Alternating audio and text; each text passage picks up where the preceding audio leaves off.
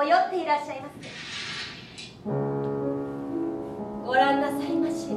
明かりのついている家はもうほとんどありません。街灯の列がくっきり二筋に並んで見えるだけです。わ六条さん。光さん。しばらく狐の声が昼間の静かな湖の上を滑ってあんな遠くの山から聞こえるのよ。あなたが愛しているのは私なのよ私なのよ違う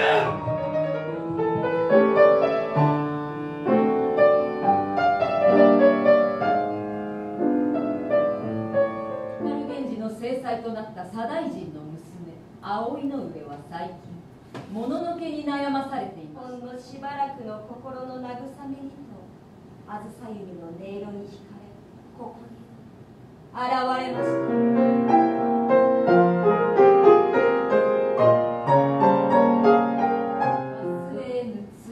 記憶に苛まれた怨霊と名乗るか。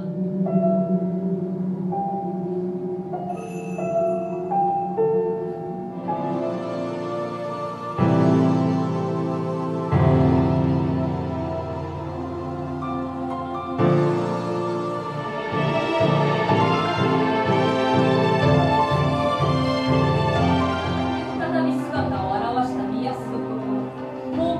与えていた面差しは今や悪鬼の要望に。